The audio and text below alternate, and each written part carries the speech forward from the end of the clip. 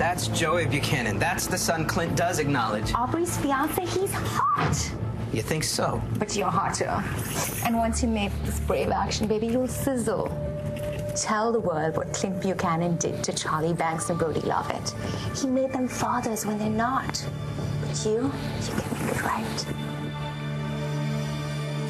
I'm not expose Clint Buchanan right here in front of God and his family. Just How can you think this will do any good for us? tell me you'll do it, Vimal. The family will be grateful for the truth. I doubt that. Rex Balsom and Brody Lovett won't be too happy. They'll be.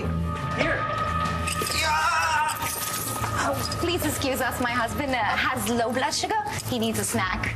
Sure, take it easy. I can't do it. You saw what happened when Rex Balsom and Brody Lovett showed up? They surprised you. Now you're ready. I can never be ready.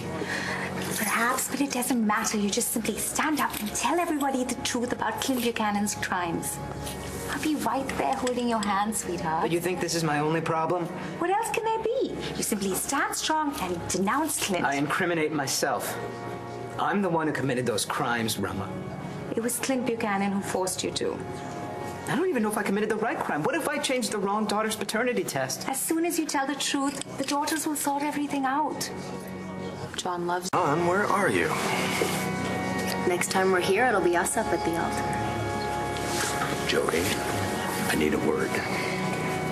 Be right back. Okay.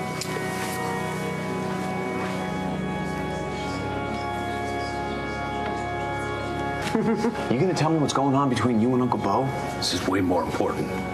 Okay.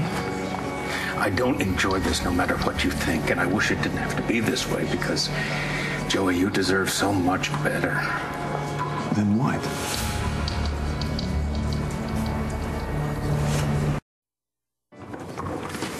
The brides are arriving. Let's go inside. Vimal, time to move. Come on. You know I love you. Yeah, you say it. I do, Joey. I mean it. I know. I don't always show it. I'm lousy at that, but that is why I'm. Oh my God! Right here. What the hell are you doing here?